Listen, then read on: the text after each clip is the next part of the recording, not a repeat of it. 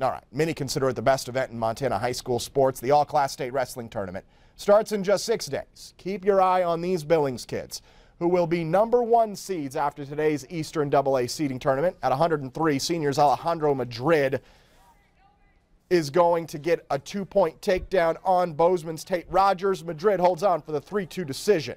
West Jace Rhodes won the 145-pound state title last year, now at 152. Gets the reversal on Bozeman's Keegan Mulhill. Rhodes knocks off the top seed 11-8.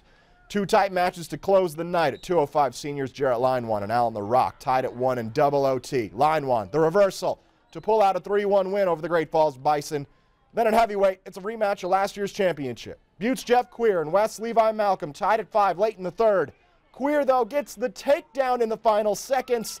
The defending champ wins at 7-5. Brock Bushfield, Skyview's only winner at 170 pounds. Now here are the total number of wrestlers each school qualified.